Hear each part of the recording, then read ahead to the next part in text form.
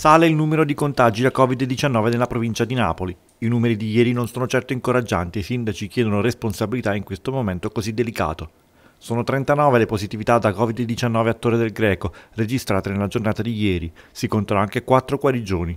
Attualmente ci sono 241 persone in isolamento domiciliare, 5 ospedalizzati per un totale di 246 positivi. Ad Ercolano il Covid ha colpito 302 persone, fortunatamente tutte in quarantena domiciliare. La stragrande maggioranza non presenta nessun sintomo, mentre una piccola parte di loro è affetta da sintomi lievi, ha fatto sapere il sindaco Ciro Bonaiuto. Intanto oggi ad Ercolano ci sarà una protesta pacifica dei commercianti a causa delle dure restrizioni imposte dal DPCM del Premier Conte. Presente anche il primo cittadino che insieme agli imprenditori locali farà sentire la propria voce. Un solo caso di positività a Torre Annunziata nelle ultime 48 ore, numero che fa ben sperare per un calo della curva dell'epidemia, che ha registrato ad oggi 99 casi positivi da Covid-19, di cui 91 in isolamento domiciliare e 8 ricoverati verso il Covid Center della regione. Nel comune di Portici, dopo il boom di contagi nella casa di riposo Pio XII, iniziano i primi tamponi di guarigione.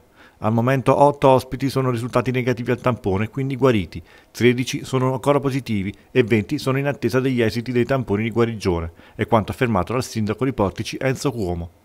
Registrati nelle ultime 24 ore nel comune di Castellammare di Stabia 48 casi positivi al coronavirus. Il sindaco scrive: Il bilancio è nuovamente molto pesante e al momento non abbiamo segnali incoraggianti dal territorio regionale.